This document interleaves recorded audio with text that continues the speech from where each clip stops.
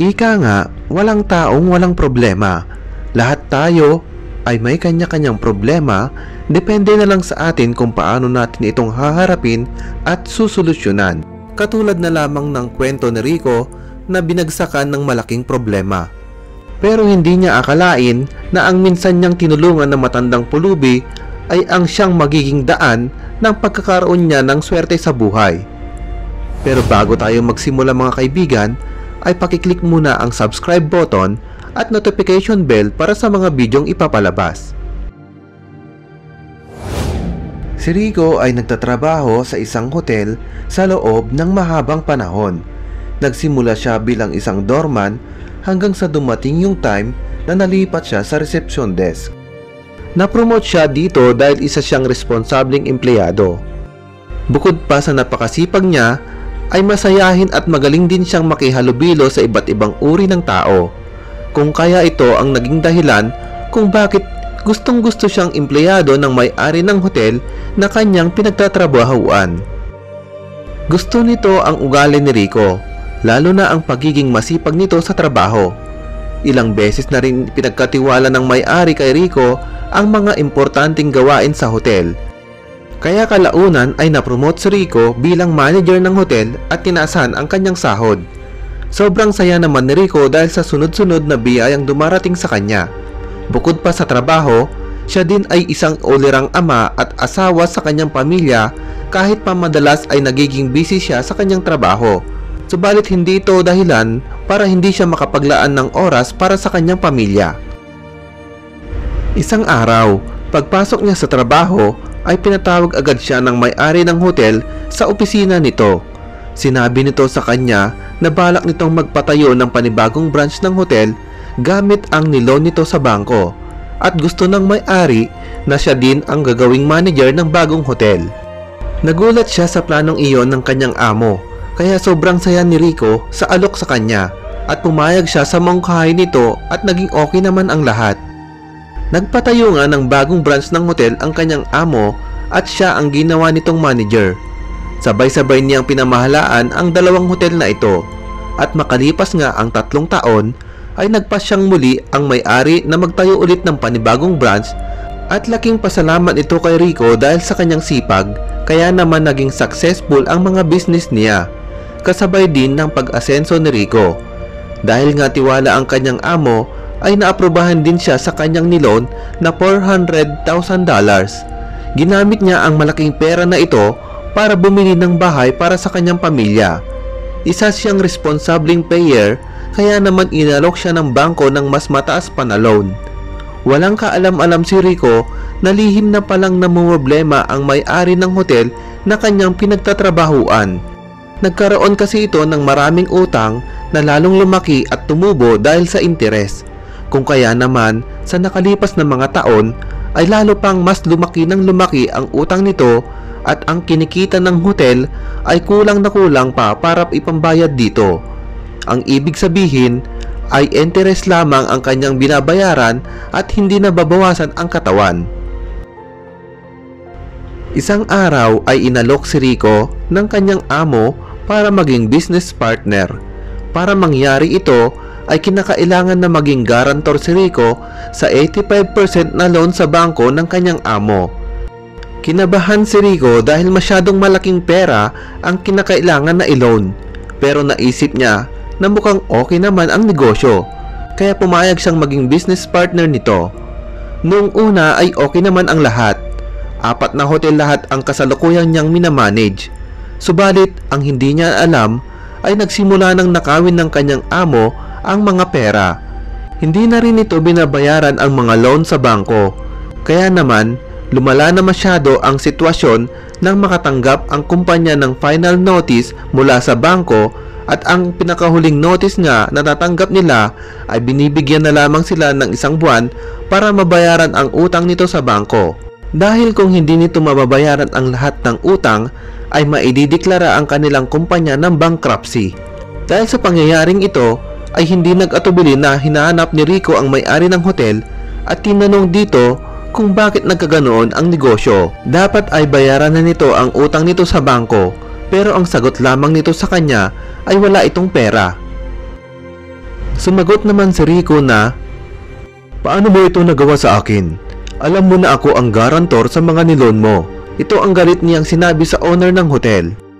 Magkasosyo na tayo at wala ka nang magagawa doon. Ito ang baliwalang sinabi nito kay Rico. Kaya malungkot na umuwi si Rico sa kanilang bahay na gulong-gulo ang kanyang isip. Wala na siyang maipapasahod pa sa mga empleyado ng hotel. Dinamayan siya ng kanyang asawa at niyakap ng gabing iyon. Hindi na siya nakatulog ng maayos kaya nagpasya siya na pumunta sa isang hotel.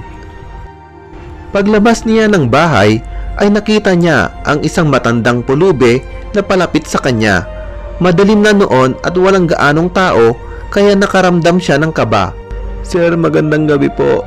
Iabot ko lang po sana itong tatlong sulat na ninakaw ng mga bata sa tapat ng bahay nyo. Iniabot nito sa kanya ang tatlong sobre at nagpasalamat naman siya dito. Pinasok muna niya sa loob ng bahay ang kanyang tatlong sobre at saka bumalik sa kanyang sasakyan. Nakita pa niya ang matandang pulube na nag-abot sa kanya ng sulat habang naglalakad ng palayo. Isang idea ang pumasok sa kanyang isip na siguro ay ito na ang huling tulong na maaari niyang ibigay habang kaya pa niya. Nilapitan niya ang pulube at tinanong nito kung gusto ba nitong matulog ngayong gabi sa isang hotel. Tumugon naman ang pulube at nahihiyang sinabi na wala itong pambayad at wala itong kapera-pera. Sinabihan naman niya ito na wag nang alalahanin pa ang mga tungkol sa mga bayarin dahil bayad naman na ang lahat. May alinlangan man ay sumama ang pulubi kay Rico at dinala niya ito sa hotel na kanyang pinagtatrabahuan. Pinagsilbihan niya ito at ibinigay ang pinaka-the best na pagkain sa menu at binalhan pa niya ito ng mga damit. Nang sumunod na araw ay bumalik ang may-ari ng hotel. Nalaman nito ang pagtulog ng pulubi sa kanyang hotel. Pinuntahan niya agad si Rico at galit na sinigawan dahil sa ginawa nitong pagtulong sa pulube. Sinubukang magpaliwanag ni Rico pero hindi nito pinakinggan ang kanyang paliwanag na binayaran naman nito ang pagpapatulog sa matandang pulube. Tinanggal siya sa trabaho nito. Hindi ko akalain na wawalain mo lang ang aking tiwala sa iyo Rico. At ngayon, ginagawa mo lang ang mga gusto mong gawin without my approval. Ito ang sinabi ng may-ari sa kanya. Ikaw ang sumira ng tiwala ko, sir. Nilustay mo ang mga pera na hindi naman sayo at dahil na rin sa kapabayaan at pagiging gahaman mo. Dahil sa ginawa mo ay maraming empleyado ng hotel ang mawawalan ng trabaho.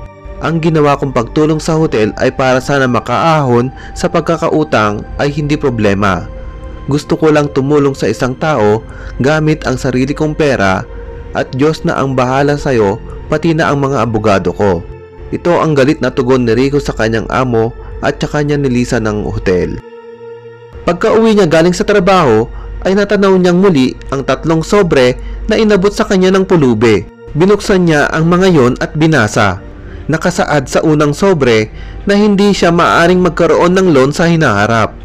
Ang pangalawang sobre naman ay mula sa isang abogado at nakalagay dito na maaari pa ring makakuha si Rico ng 85% niya sa kumpanya kung mababayaran niya lahat ng utang nito na nagkakahalaga ng $700,000. Nanlulumong na payuko na lamang siya dahil napaka-imposibleng makabayad siya ng ganong kalaking halaga dahil wala siyang gaanong kalaking pera. Itatapon na sana niya ang pangatlong sobre pero nagpa siya itong basahin. Naluha siya nang mabasa ang pangatlong sulat kasi nakalagay doon na aprobado siya sa loan na $1,400,000. Bilang kasosyo sa negosyo ay hindi siya makakatanggap ng loan dahil sa laki ng utang ng kumpanya. Pero bilang isang pribadong tao ay aprobado siya dahil isa siyang good payer. Ang kailangan lang niyang gawin ay magpunta sa bangko para pumirma. At yon ang agad niyang ginawa pagkatapos. Matapos pumirma ay tinawagan din niya agad ang kanyang abogado at kinausap ito. Tinawagan naman ng kanyang abogado ang may-ari ng hotel at agad naman itong pumayag. Sa ganitong paraan ay maisasalba na nito ang kanyang 15% na share sa kumpanya. Nang dumating na sa account ni Rico ang pera ay binayaran niya agad ang lahat-lahat ng utang at ang dating may-ari ay mawawala na ng koneksyon sa kanyang kumpanya. Nilabanan din ng abogado niya ang pagkakatanggal kay Rico. Bukod pa dito ay pinagbayad din ang dating amo ni Rico ng kabuoang bayad para sa napakaraming taon na pagtatrabaho nito sa kumpanya. Masayang masaya si Rico dahil ngayon ay solong owner na siya ng mga hotel. Napagdesisyonan niya na gagawin niya ang lahat para lumago ang kanyang negosyo at hinding hindi siya tutulad sa dating owner nito.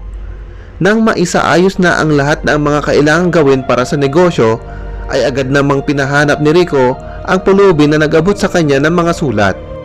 Pasasalamatan niya ito dahil siya ang dahilan kung bakit siya sinuwerte. Kung hindi nakarating sa kanya ang ikatlong sulat, ay baka nalubog na siya ng tuluyan sa utang at mawala na sa kanya ang lahat. Kung saan saan na siya nagpunta at kung sino-sino na rin ang kanyang napagtanungan pero hindi pa rin niya makita ang matandang pulubi. Ang moral lesson sa video na ito ay kung ikaw ay tapat, masipag at responsable sa iyong trabaho ay tiyak na magbubunga ang iyong pagsisikap. Manalig at magtiwala lang tayo sa ating sarili at lalong-lalo na dapat ay may pananalig tayo sa Panginoon dahil tiyak na hinding hindi niya tayo pababayaan.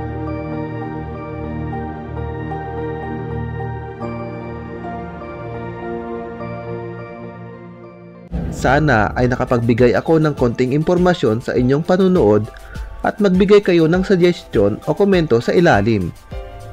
Maraming salamat mga kaibigan sa walang sawang pagsuporta at panonood sa aking munting channel.